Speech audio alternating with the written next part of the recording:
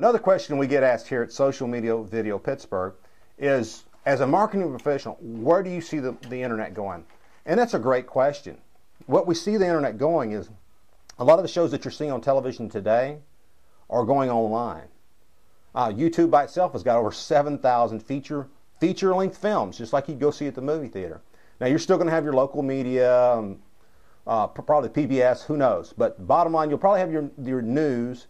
You'll have some movies, but a lot of the content that you're watching on television today, I believe firmly, and studies have shown that that content's moving online.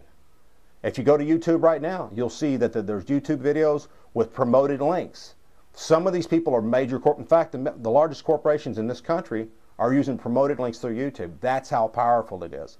So remember this. Then the next one, two years, you're going to see most, a lot of what you see on television will be online.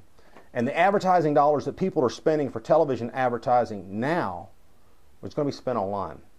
So the people that take the take advantage of that know that now and study it and implement what we what we can teach you. You're going to be the ones that are going to be dominating your industry.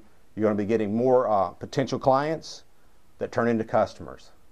I hope you've learned something in this video. Thank you so much for your time. My name is Rick Hodge. Give us a call if we can do anything for you at 724 263 8812.